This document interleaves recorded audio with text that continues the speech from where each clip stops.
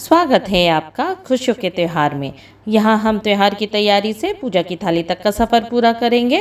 आज की वीडियो में जानिए, इस साल शारदीय नवरात्रि में किस वाहन पर होगा देवी का आगमन और कैसे होगी विदाई?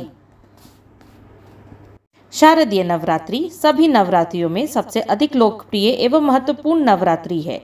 शारदीय नवरात्रि को महानवरात्रि के नाम से भी जाना जाता है। शारदीय नवरात्रि, चंद्रमास, अश्विन में शरद ऋतु के समय आती है। शारदीय नवरात्रि के नौ दिन देवी आदि शक्ति के नौ रूपों को समर्पित होते हैं। शारदीय नवरात्रि सितंबर अथवा अक्टूबर माह में पड़ती है।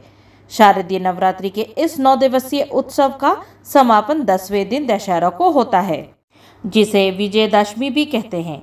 हम सभी जानते हैं कि माँ दुर्गा का वाहन सिंह है।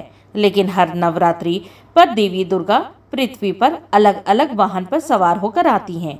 देवी के अलग अलग वाहनों पर सवार होकर आने से इसका अलग अलग फल बताया गया है।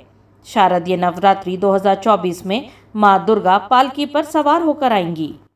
इस वर्ष शारदीय नवरात्रि की शुरुआत 3 अक्टूबर गुरुवार को हो रही है।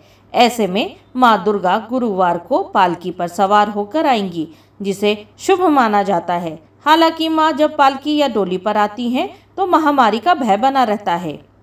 देवी भागवत के अनुसार नवरात्र का आखिरी दिन तय करता है कि जाते समय माता का वाहन कौन सा होगा, अर्थात नवरात्र के अंतिम दिन कौन सा दिन है?